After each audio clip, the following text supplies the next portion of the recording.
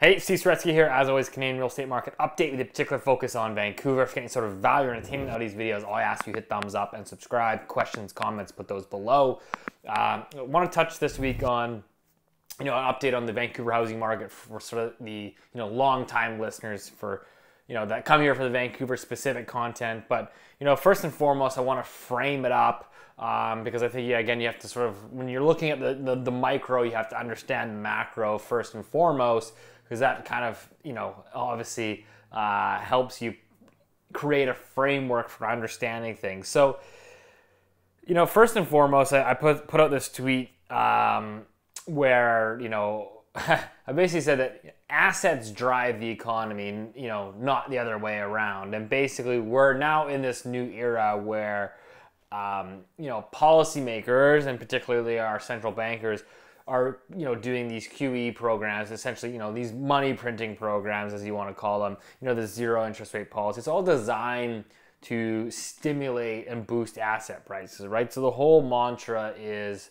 listen, we, if we stimulate asset prices, if we lower the interest rates and force savers into these more risky or speculative investments, um, this will push asset prices higher. This will then create a wealth effect. You know, higher higher stock prices and higher real estate prices creates new you know equity at least on paper and allows you to then you know leverage that equity and and go buy a boat or buy a car or you just feel better right it's like that old that old uh, you know saying from Warren Buffett right I mean the guy says you know he goes goes through the McDonald's drive through every single day and buys you know, a, a cheeseburger and, and, and, a Coke, and he says, you know, when the markets are down, he doesn't buy the fries, but if markets are up, he buys the fries, right? So it's like th- that's kind of just the way of thinking, and and that's how these you know these policymakers, these central bankers think, right? If we can just boost the asset prices,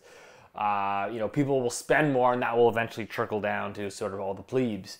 Um, but so, you know, when we look at what happened during the pandemic, right, all you have now is every single central bank, you know, doing these massive QE programs, flooding the system with liquidity. And lo and behold, right, it's not just like Canadian real estate, it's like, you know, we've got global property markets. So if we look at, uh, you know, a recent report from the OECD, um, you know, the economics department there, you know they put out a, a, a, report that of the so they you know they put this index out which basically tracks global home prices uh, of the 40 countries that it covers. Uh, of the 40 37 out of 40 uh, saw real home price appreciation in the first quarter of this year. It's the the largest percentage uh, they've ever seen since they began recording this in uh, in the year 2000 um, and same thing now we've got so global property prices are up, you know, uh, as per their metric, you know, nine percent. This is the fastest pace of home price acceleration uh, again that they've seen on record going back to uh, when they began tracking this data in the 2000s. So what you have is basically this again a sea of liquidity. Every single asset is going up. Again, I prefer to look at it as more of a currency devaluation. It's a loss of purchasing power that, again, maybe it shows up in CPI basket, maybe it doesn't, but ultimately it shows up in, in, assets. You essentially you have too much money, you have too much liquidity in the system that is all seeking out a finite number of assets, and that's kind of where we're at. So. Um, and you know this this whole notion now so we know obviously you know getting around to, to canada here you know vancouver property prices toronto property prices national home prices in canada you know growing at the fastest pace we've ever seen. Um, you know you see all these reports coming out and uh, you know one of the common headlines i see here in vancouver and toronto specifically is it goes oh it now takes the average person the average income earner 30 years. They you know they have to save for 30 years before they can uh, afford a, a, down payment on, on a home. And I'm like, again, it's all about like how you look at things, understand them. Like, okay, first and foremost, I can tell you with 100% certainty, I've never worked, I, I don't think I've worked with a client that actually saves money and then buys a property. Like, generally speaking, like, you, yes, okay, you save money to invest it, so you have it invested in stocks and then you know as those stocks obviously go up, you then ultimately and a lot of them end up draining some of that, you know, new created wealth as the down payment, or we see uh, you know massive gifting of, of so for the first time homebuyers that I work with in Vancouver, I, I, I don't know of anyone yet that I have worked with, and I've worked with a lot of clients. I haven't worked with any first time homebuyers yet that have actually come in and accumulated their own down payment. Everyone I know has had some help from family and friends, whether that's a, lo- a temporary loan or just an outright gift. So what you have now is this like sort of new world economy where again you don't save money for a, a down payment from a house. If you're getting you know 0.5% in your checking or in your savings account at the bank and inflation's running at 3% you're an idiot you don't save there for 30 years it's going to take you you know it's not going to take you 30 years it's going to take you 100 years because every single year you're losing purchasing power um, so nobody saves anymore you can't save because policymakers have eliminated that ability to save. They have de- they have decimated the saver. So you invest. So what I am seeing in the housing market is this wealth transfer, right? People people are just simply all they're doing is leveraging and trading existing assets. So they could be trading existing stocks.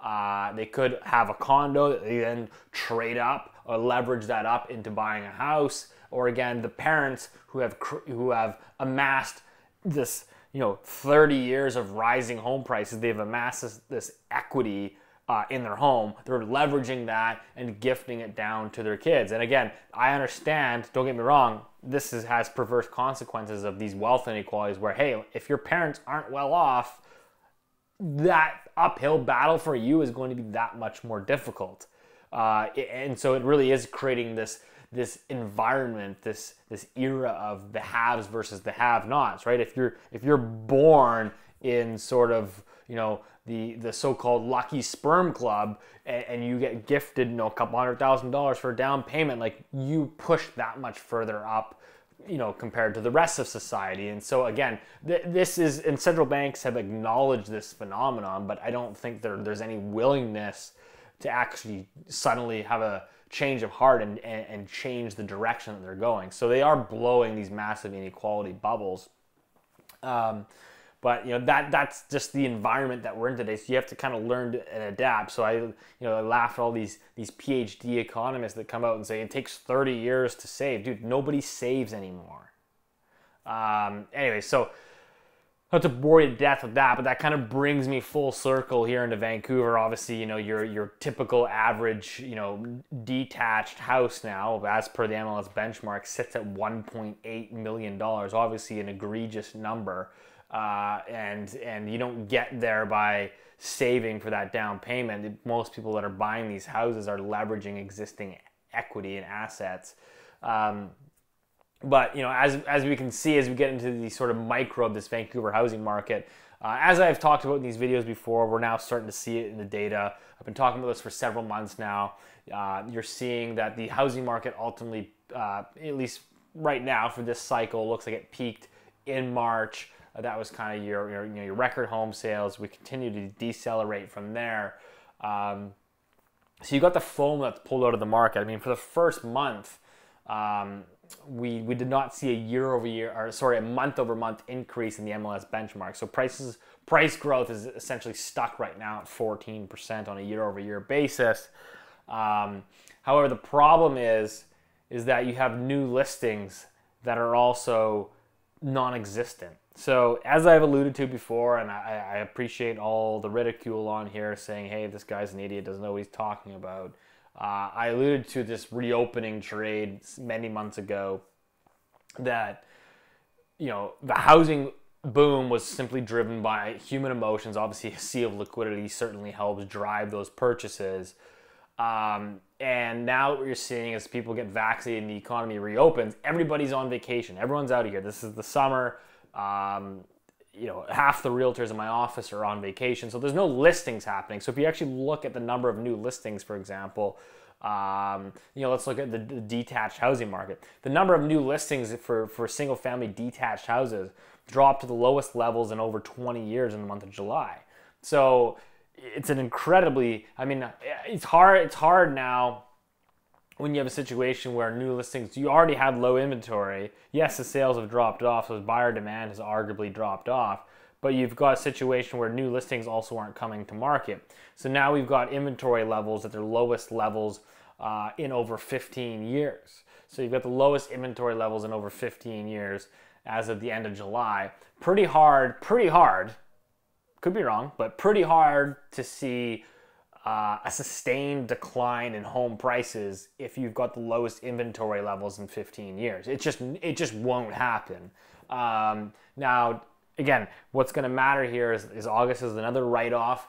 You go into September, October, you're going to restart the normal real estate uh, seasonal activity, but you're gonna you're gonna be starting again at a, a very low, extremely low base in terms of the overall inventory levels. So this is going to take months and months and months just to restock the the cabinets, so to speak. They've been plucked dry, so you got to restock those cabinets, uh, and that's going to take a lot of time. So I think that's kind of what what's important, what's happening. I actually think that the condo market is going to outperform the single family and townhouse markets over the next 12 months. In Vancouver here, we tend to see a, a market that ebbs and flows. So the detached market usually goes up, uh, it gets too crazy. The condo market eventually starts to follow on a lag. And that's as the detached market slows down. And that's exactly what we're seeing in the data, right? If you look at you know sales to actives ratios, the increase in sales. So in the condo market, for example,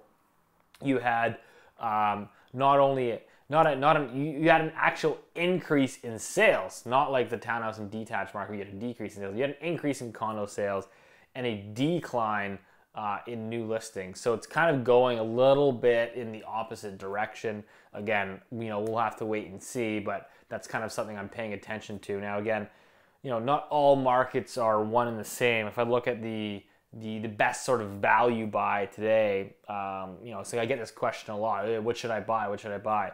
You know, we look at the the overall market. The overall market as a whole in Greater Vancouver, as we just mentioned, is up 14% year over year. Now we know that you know suburban single family houses are up 30. We know suburban townhouses are up 25. You know, if you look at condos downtown, I mean they're still flat to down. I mean two bedroom condos are actually down, you know, six percent on a year over year basis. So you know compare a two bedroom condo in downtown Vancouver that's down down six percent versus a single family house out in the suburbs that's up 30, uh, you can clearly see that there's sort of a mismatch here. I would argue that one's probably an opportunity and one you're cherry picking the top. So uh, that's kind of my thoughts. But uh, as always, we'll, we'll, kind of continue to watch this market, um, you know, on a, on a monthly basis. Obviously, we have, we've got my uh, you know, regular Yahoo interviews with, with myself and John Pasalis there in Toronto. So if you're looking for that sort of Toronto uh, take on it, I always encourage you to tune into those shows, which will ultimately get posted here on this channel. Um, but in terms of the overall framework, uh, nothing has changed there. Uh, I don't look at this as a, you know, a pump and pump and dump promotionary uh, series of videos uh, on housing. I, I'm really just trying to emphasize that, you know, regardless of your view on housing, I think things are obviously, we know that they're extremely crazy here. I continue to look at this um, as a failure. I really feel it's like the early stages almost of like a currency that's again failing that you can clearly see um, you know, purchasing powers are just being eroded, and that this is all showing up in massive asset price inflation.